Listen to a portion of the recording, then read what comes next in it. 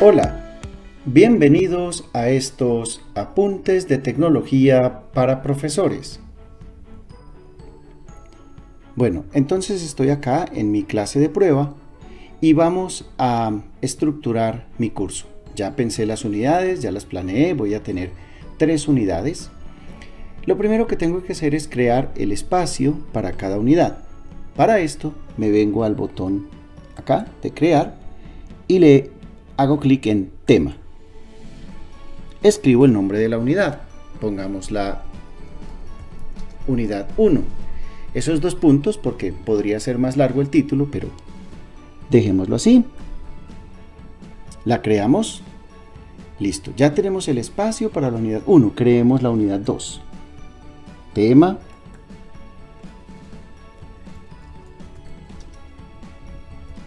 Y dos puntos. Y le damos Enter o al botón Crear. Y creemos la unidad 3. Hacemos clic en tema y escribimos unidad 3. Muy bien. Ya tenemos entonces creadas las unidades. Pero noten que quedaron en orden descendente. La 3 está arriba, la 2 y luego la 1. Yo necesito que estén en el orden en que los estudiantes deberían encontrarlas.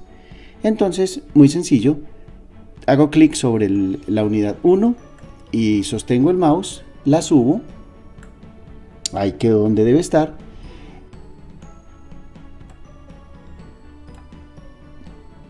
y ahora ya nos quedaron en el orden en que deberían estar.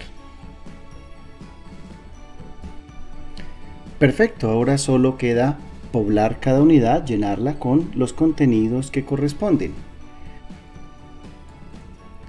Para esto vamos a hacer clic en el botón crear y bajemos por ejemplo hasta material. Escribimos un título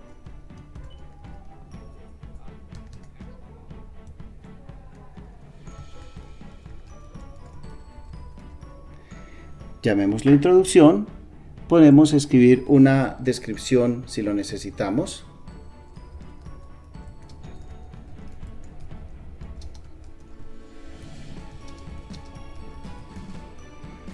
Y luego agregamos el archivo que corresponde.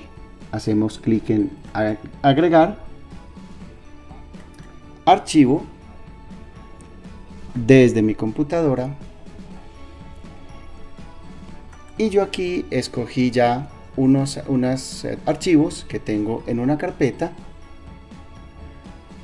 Este vamos a insertar este que se llama introducción unidad 1 le damos enter y lo subimos.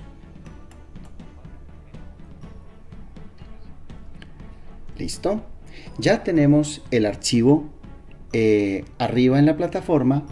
Entonces miremos estas opciones de acá de la derecha para todos los estudiantes. Y aquí dice que no, no tema, ningún tema. Abramos y acá están las unidades a las cuales podemos insertar ese archivo. Vamos a escoger la unidad 1 y luego le damos publicar.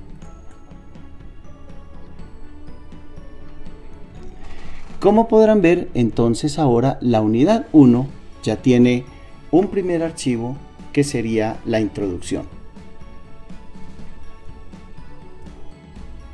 Y eso es todo por ahora.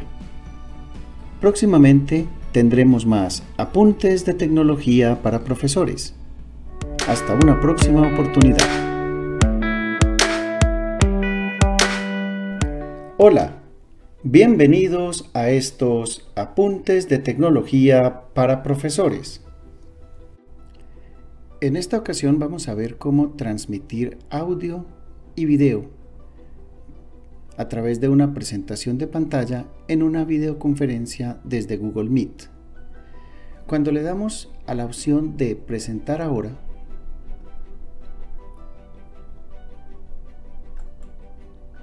El sistema nos ofrece estas tres opciones. Todo, todo mi escritorio, una ventana o una pestaña de Chrome.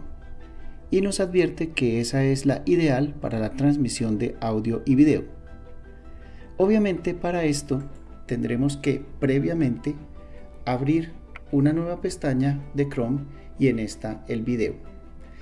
La podemos abrir desde, desde el menú contextual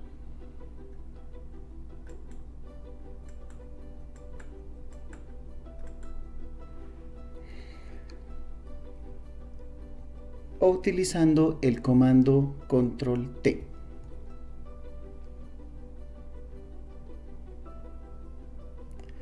Una vez tenemos esta nueva pestaña, vamos a ir a youtube.com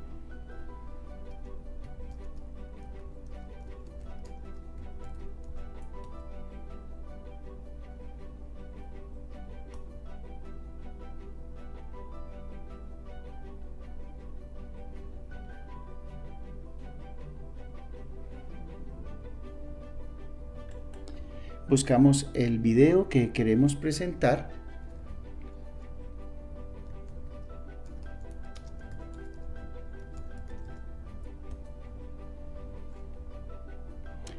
Escogemos cualquiera de estos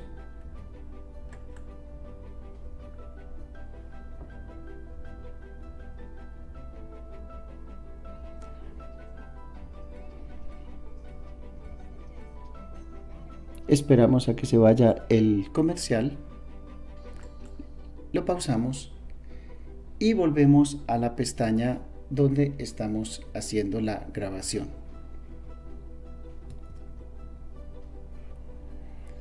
Entonces ahora podremos escoger presentar ahora y elegiremos la tercera opción. Aquí nos muestran las pestañas abiertas. Obviamente solo tenemos la de YouTube. La seleccionamos y nos aseguramos de que esta opción esté chequeada para que el audio pase junto con el video. Aceptamos acá. Y luego solo tenemos que reproducir nuestro video y los estudiantes podrán escucharlo con el audio. Y eso es todo por ahora. Próximamente tendremos más apuntes de tecnología para profesores. Hasta una próxima oportunidad. Hola, bienvenidos a estos apuntes de tecnología para profesores la grabadora de voz. ¿Sabían que Windows, en sus versiones 7, 8 y 10, nos ofrece una herramienta gratuita que es una grabadora de voz que, entre otras cosas, nos permite hacer todo esto? Bueno, vamos a explorarla. Abrimos el menú Inicio y escribimos grabadora y él la completa. Entramos y nos aparece esta interfase. Le damos clic al botón iniciar grabación y el programa comienza a grabar nuestra voz. Cuando hemos terminado, entonces damos clic al botón detener la grabación y aquí le podemos dar a reproducir. En este momento no lo vamos a escuchar porque yo estoy usando el sistema de audio para hacer esta grabación.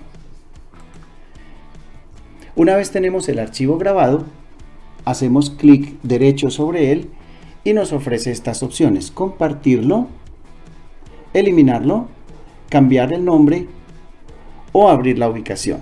Si le damos Enter allí, nos va a llevar a la carpeta donde fue almacenado el archivo. Y aquí lo tenemos, lo podemos copiar, grabar eh, en un disco duro o enviarlo por correo o por Google Drive a nuestros estudiantes.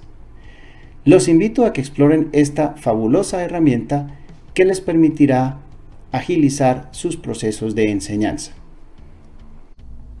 Y eso es todo por ahora. Próximamente tendremos más apuntes de tecnología para profesores. Hasta una próxima oportunidad.